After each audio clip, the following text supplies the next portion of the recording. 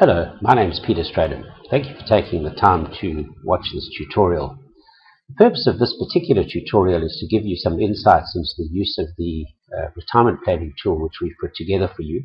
It's pretty much a self-help, do-it-yourself tool, fairly sophisticated, certainly in relation to what else is uh, out there on the internet, but nowhere near as sophisticated as some of the tools that uh, professional advisors might use when doing a, a retirement plan for you. The purpose of this tool is to give you a broad overview and a very accurate idea of just what your retirement status is likely to look like. For the purposes of the tutorial, I've chosen uh, our friend Mr. Joe Soap. He's 45 years old and he would like to retire at 65. He's also said that longevity uh, in his family is quite common and he would like to plan to have sufficient capital to be able to provide him with his desired level of income right up to age 90. We're also assuming a 6% rate of inflation, which will be applied to the figures between his current age of 45 and his retirement age of 65. Now the tool gives you a fairly comprehensive rundown and guide as to what is expected in terms of data input. So for your pension fund, in this particular case, Joe Soap's been with his company a few years and he's accumulated 200,000 Rand as an investment value in the fund. After deducting costs of administration and insured benefits, the monthly contribution being provided by both himself and his employer, and which is going into the investment part of his pension fund, is two and a half thousand rand per month.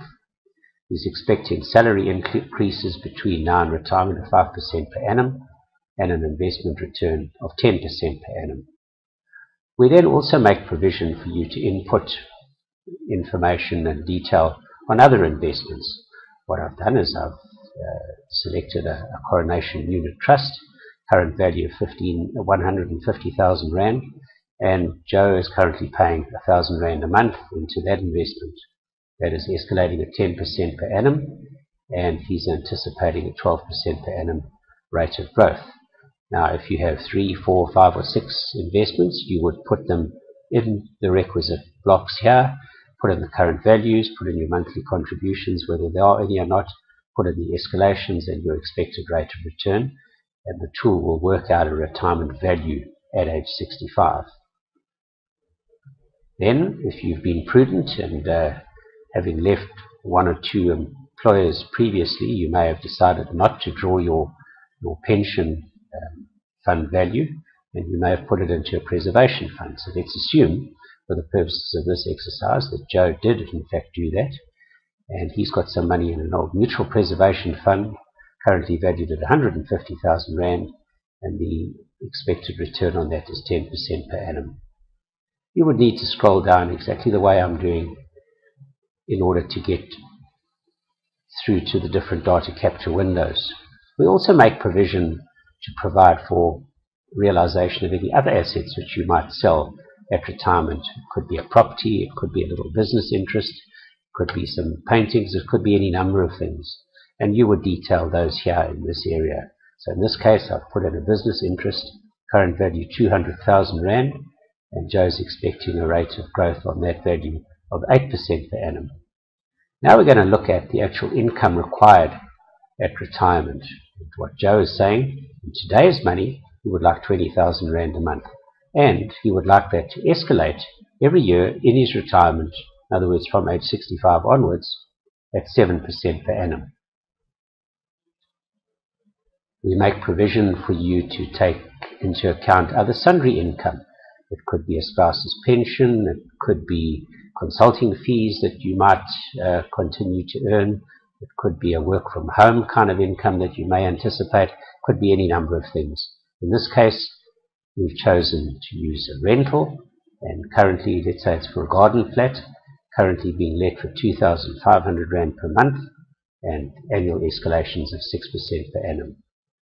Now, what the calculator is designed to do is to actually, in the first instance, work out any shortfall, if there is a shortfall, and then tell you what amount of money you would need to invest on a monthly basis between now and retirement. But in order for it to give you a reasonable figure, you need to tell the calculator what sort of annual escalation, if any, you can tolerate if you are to implement a, a new monthly investment, and also the investment return that you could expect to get out of the new investment that you may have to make.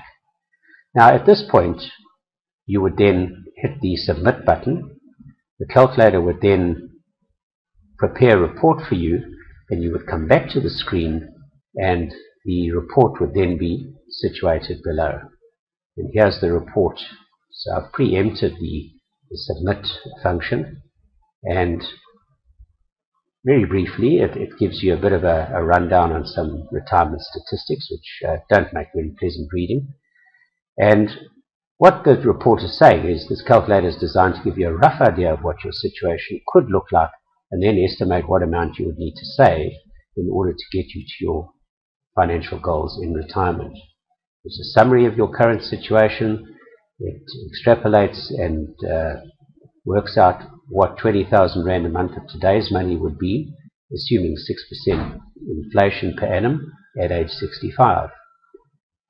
And then it summarizes the capital that you would have accumulated, your pension fund, if you have a provident fund, your investments, in this case was your Coronation investment, your preservation fund, in this case Old Mutual, and then the assets to be sold at retirement.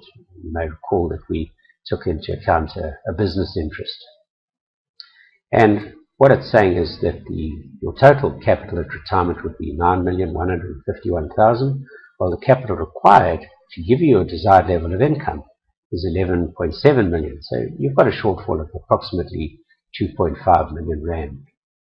Now, in order to provide you with an income all the way through to age 90, you would then need to save an extra 1,667 rand per month with a 10% per annum escalation in your contribution to the investment and assuming a 10% per annum uh, rate of growth. Not a dire situation in this particular example.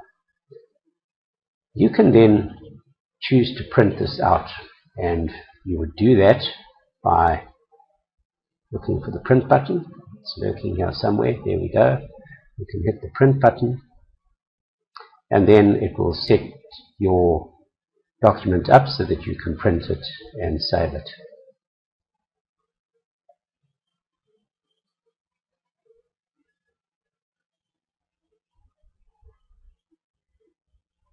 There we go. There's your report which you can save as a PDF or you can print it out and keep it in a file.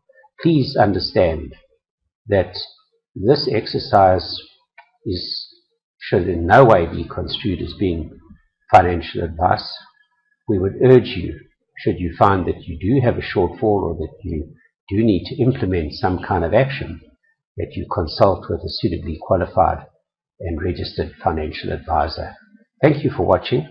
Should you not have an advisor, you're more than welcome to contact us and our contact details on the on the website.